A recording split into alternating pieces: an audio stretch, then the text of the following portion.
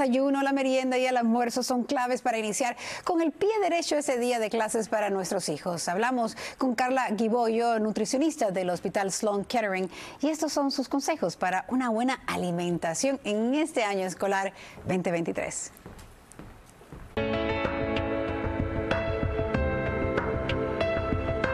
To School Nutrición, estamos hablando de desayuno, estamos hablando de merienda y por supuesto almuerzo. Vamos a comenzar precisamente con el desayuno. Bueno, la alimentación cuando volvemos a la escuela es bien importante.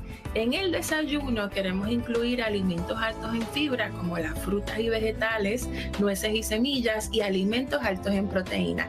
Las nueces y semillas también tienen mucha proteína, cosas como el huevo y el yogur. Aquí yo tengo un ejemplo, esta es una combinación con yogur, eh, cerezas y nueces y un poquito de granola. Y esto es una muy buena manera de llevárnoslos y si estamos... Otra idea que es buena para el desayuno son las, las batidos.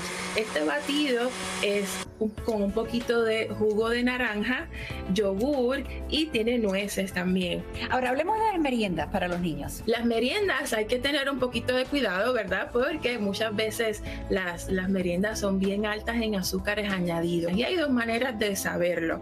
Una es mirando los gramos de azúcar. Si tiene 5 gramos o menos, es bajo en azúcar. Y también mirando el porcentaje de azúcares añadidos. Hablemos ahora directo a lo que viene siendo el almuerzo.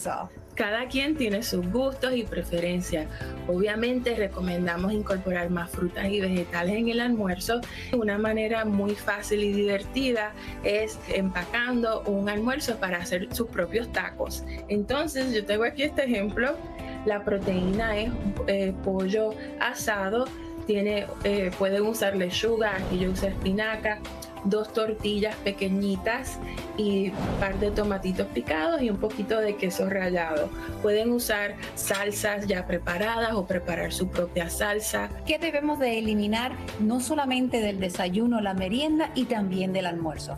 Tratar de evitar consumir cosas con muchas azúcares refinadas. Siempre es un placer de compartir contigo.